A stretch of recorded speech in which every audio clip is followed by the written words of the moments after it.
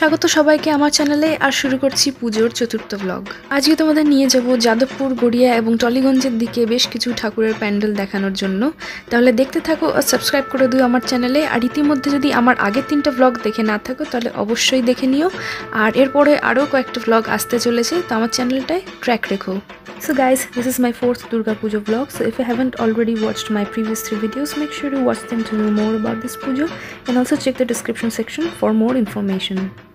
আমাদের আজকের প্রথম গন্তব্যস্থল হচ্ছে বাবুবাগান গোল পার্ক থেকে যাদবপুর যাওয়ার পথে ঢাকুরিয়া ব্রিজ পেরোলেই একটা গলির মধ্যে পাওয়া যাবে এই প্যান্ডেলটা। বাবুবাগানের পরের পুজোটি সেলিমপুর পল্লী। আমি থিমগুলো প্রত্যেকটা ভিডিওর ওপরে ক্যাপশন হিসেবে লিখে দিচ্ছি। সেলিমপুর পল্লীর পুজো খুবই বিখ্যাত। প্রত্যেকবার এরা খুবই ভালো প্যান্ডেল করে।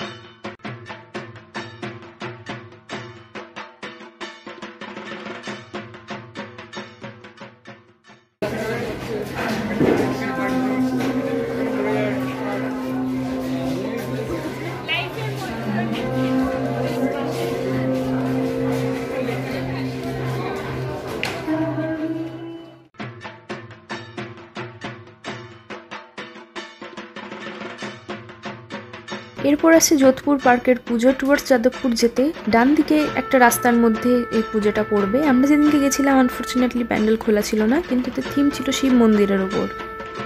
যোধপুর পার্কের পর যোধপুর পার্ক পঁচানব্বই পল্লীর পুজো, ভীষণ সুন্দর কাঠের কারুকার্য করা এই প্যান্ডেলটা। আর থিমটা তো আমি ওপরে লিখিয়ে দিচ্ছি।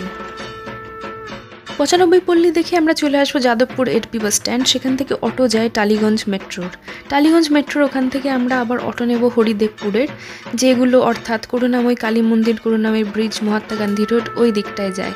এবারে এই রাস্তায় এলে প্রথম পুজোটাই পড়বে একচল্লিশ পল্লী ক্লাবের। এদের থিম সম্ভবত ছিল যোগাযোগ ব্যবস্থা, তাই জন্য সাইকেল নিউজ পেপার অর্থাৎ খবরের কাগজ টেলিফোন এরকম নানা রকম প্রপস দিয়ে সাজানো। এবং এও আছে কয়েকজন বয়স্ক মহিলা বসে গল্প করছেন একজোট হয়ে, যেটা আগেকার দিনে খুবই হতো।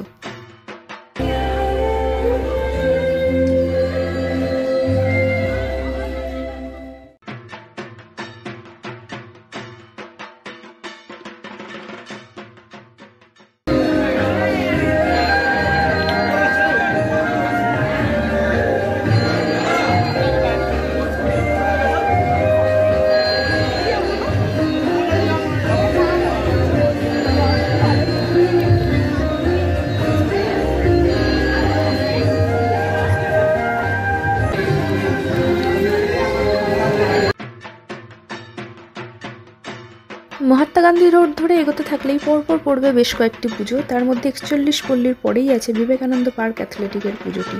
এবার এদের পুজোর থিমের মধ্যে দেখলাম, খড়ের যে প্রতিমা বানানোর যে কাঠামোটা, সেইটা দিয়ে এরা ডেকোরেশন করেছে প্যান্ডেলে। এছাড়াও শিল্পীদের ব্যবহৃত কিছু জিনিসেরও প্রপস ছিল যেমন তুলি। অর্থাৎ এদের থিমটা বোঝা যাচ্ছে শিল্প বা শিল্পীদের ওপর নিয়েছিল বা যারা ঠাকুর বানায়।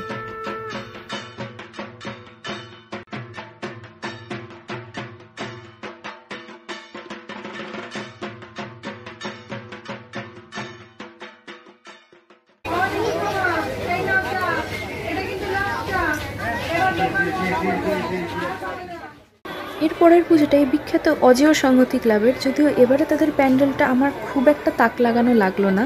শুধুমাত্র কিছু শৈল্পিক কাজকর্ম আছে, ব্যাস।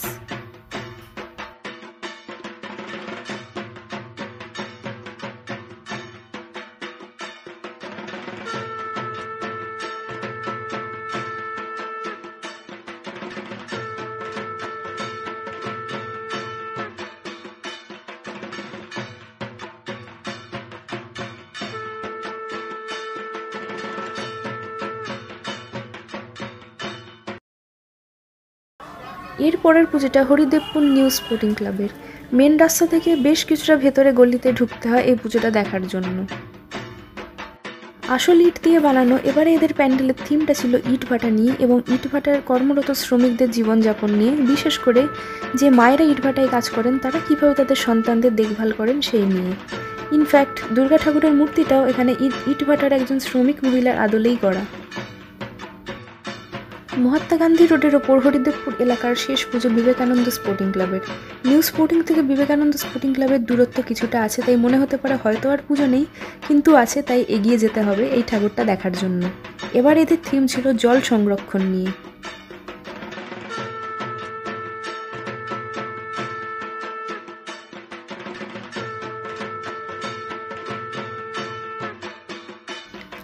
ঠাকুরটা দেখা হয়ে গেলে কাছাকাছি মেট্রো স্টেশন বলতে নেতাজি, সেখানে আমরা অটো করে পৌঁছে যেতে পারি। সেখান থেকে কাছে পড়বে পশ্চিম পুটিয়ারির পুজোটা, যদিও আমার নেমে দেখা হয়নি রাস্তার মধ্যে ছিল বলে। তো নেতাজি থেকে আমরা মেট্রোয় উঠে চলে যাব গীতাঞ্জলি স্টপেজে, যেখান থেকে আমরা দেখে নেব নাকতলা উদয়নের পুজো। এসে পৌঁছেছি নাকতলা উদয়ন সংঘতে। মেট্রো স্টেশন গীতাঞ্জলি থেকে নেমে হেঁটে বা রিক্সা করে পৌঁছে যাওয়া যায় এই প্যান্ডেলটায়। এবার এদের থিম ছিল জন্ম এবং এই যে কলসি দিয়ে এরা ডেকোরেশন করেছে, কলসিটাকে এরা গর্ব হিসেবে রিপ্রেজেন্ট করেছে। দুর্গাপুজোর প্যান্ডেলের ভাবনা এবং শিল্প যে কতটা উচ্চতায় পৌঁছে গেছে, সেটা এই রকমের কিছু প্যান্ডেলে ঢুকলেই বোঝা যায়। আগের দিন তোমরা দেখেছিলে অবসর এবং ভবানীপুরের চক্রবেরিয়া এলাকার প্যান্ডেলগুলোর ছবি। সেখানেও এরকম মেকানাইজড প্যান্ডেলের কনসেপ্ট ছিল। এখন শুধুমাত্র শিল্পকলা বা তাক লাগানো প্রপস দিয়েই হয় না, এখন নতুন কনসেপ্ট হচ্ছে মেকানাইজড প্যান্ডেলস।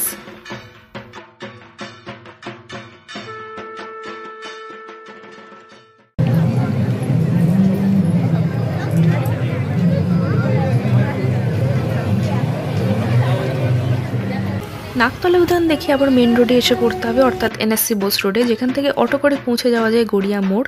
গড়িয়া মোড় থেকে হেঁটে অটোতে বা রিক্সা করে পৌঁছে যাওয়া যায় গড়িয়া নবদুর্গা দেখার জন্য। বা অল্টারনেটিভলি আমরা নাকতলা, অর্থাৎ গীতাঞ্জলি মেট্রো স্টেশন থেকে মেট্রো ধরে এসে নামতে পারি কবি নজরুলে। কবি নজরুল থেকে তুলনামূলকভাবে হেঁটে কাছে পড়ে গড়িয়া নবদুর্গাটা। এটা রাস্তার বাঁ দিকে পড়বে। নবদুর্গা কলকাতায় খুব একটা বেশি হয় না। বিখ্যাত বলতে গড়িয়া নবদুর্গার কথাই আমি জানি। আরও কোথাও হয়ে থাকলে তোমরা আমাকে কমেন্ট করে অবশ্যই জানিও যদি তোমরা জানো। আর গড়িয়া নবদুর্গায় মা দুর্গার নটা রূপকে দেখা যায়। নটা রূপে তিনি পূজিত হন এখানে।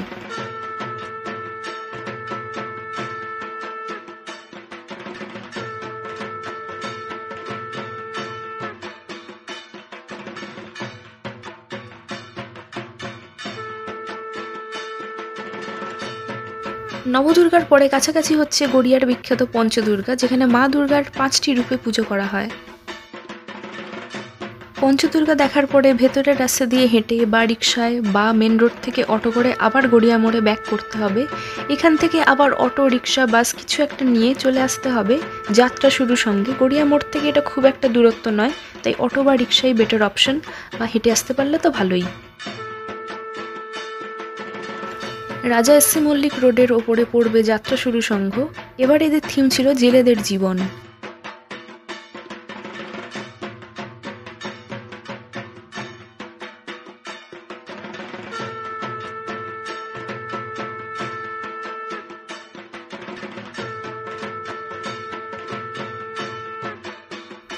যাত্রা শুরু সঙ্গের পর রাজা এসসি মল্লিক রোড ধরে চলে এসেছি বাঘাযতীন স্টেশন রোডের কাছে, বাঘাযতীন তরুণ সংঘর ঠাকুরটা দেখার জন্য।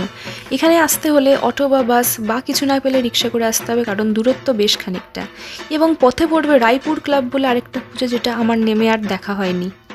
এসসি মল্লিক রোড থেকে বেশ খানিকটা ভেতরে বাঘাযতীন স্টেশনের দিকে যাওয়ার পথে পড়বে এই পুজোটা। এদের থিমটা আমি শুরুতেই দেখিয়ে নিয়েছি। আমার মুখ থেকে শোনার থেকে সেই থিমটা সুন্দর করে পড়ে নেওয়াই বেটার হবে।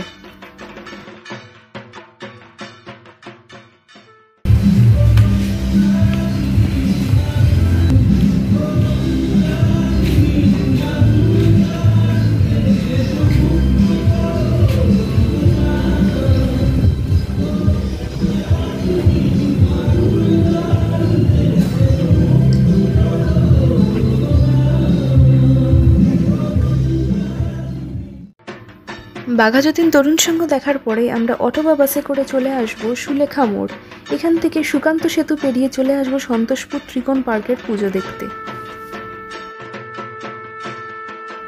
এবারে এখানকার থিম ছিল বিস্মৃতি। অর্থাৎ যে জিনিসগুলো এখন আমরা আর ইউজ করি না, যেগুলো পুরনো হয়ে গেছে এবং যে জিনিসগুলো ব্যাকডেটেড যে জিনিসগুলোর বিকল্প হিসেবে এখন টেকনোলজিক্যালিভাবে উন্নত অনেক জিনিস এসে গেছে, সেই সব জিনিসকে মনে রেখে এবারে এদের এই থিমটা সেই জিনিসগুলির মধ্যে আছে গ্রামোফোন, উনুন, রেডিও, হ্যারিকেন, এরকম নানা রকম জিনিস। এরপর চলে এসেছি ভেতরের রাস্তা দিয়ে হেঁটে সন্তোষপুর অ্যাভিনিউ সাউথ পল্লী মঙ্গলের পুজোটা দেখতে। অসাধারণ বললে কম বলা হবে, এত সুন্দর এবারে এদের থিমটা ছিল, তোমরা নিজেরাই নিজেদের চোখে এই ব্লগটা থেকে দেখে নাও। ভীষণ সুন্দর মন মাতানো আলোর রিফ্লেকশনের খেলা এই প্যান্ডেলে দেখা যাচ্ছে এবং আশপাশে যে বাড়িগুলোকে ঘিরে প্যান্ডেলটা হয়েছে, তাদের জানলাগুলো এরা ব্লক করেনি। যেটা প্যান্ডেলের মধ্যে থেকেই দেখা যাচ্ছে। এছাড়া দুখানা গাছও ছিল, সেগুলোকেও এরা ডিস্টার্ব করেনি।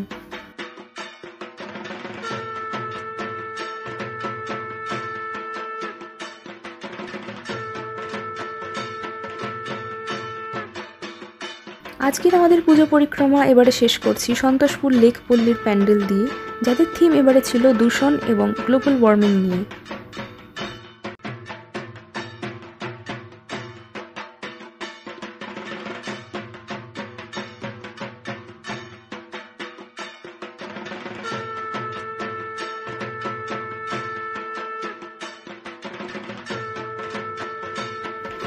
সন্তোষপুর লেকপল্লী থেকে মেন রোডে উঠে চলে আসা যায় বাসে বা অটোয় সোজা অজয়নগর মোড়, যেটা বাইপাসের ওপর। এছাড়া ছিল গড়িয়া পাটুলির দিকে দুখানা পুজো, যেটা আমি মিস করে গেছি, কিন্তু আমি ফেসবুক থেকে ছবি কালেক্ট করে তোমাদের দেখাচ্ছি।